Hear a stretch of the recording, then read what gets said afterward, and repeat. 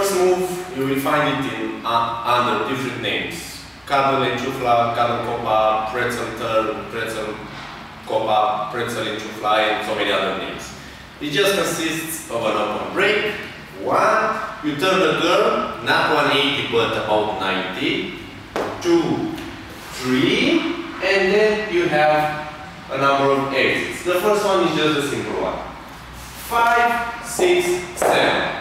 Just stay with your hand here, don't do anything else, and the girl should understand, okay, it's a basic step. From this point, one, two, three, and five, six, seven. The second one, with a frisbee.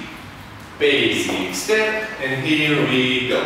One, two, three, you pull and you push a little bit. You pull here and then push the hand. Again, directly, one, two, three, and we push the hand. And one, three. Now with the hammer lock.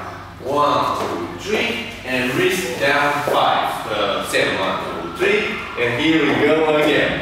One, two, three, the wrist is down. One, two, three, and with the simple turn. One, two, three, the wrist is up. And one, two, three, one more time. One, two, three, the hand goes up.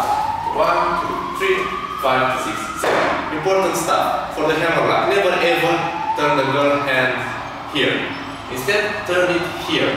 It's much safer for her. You won't break her arm. Also, when you turn her hand upwards, always use a circular movement and girls always follow your hand.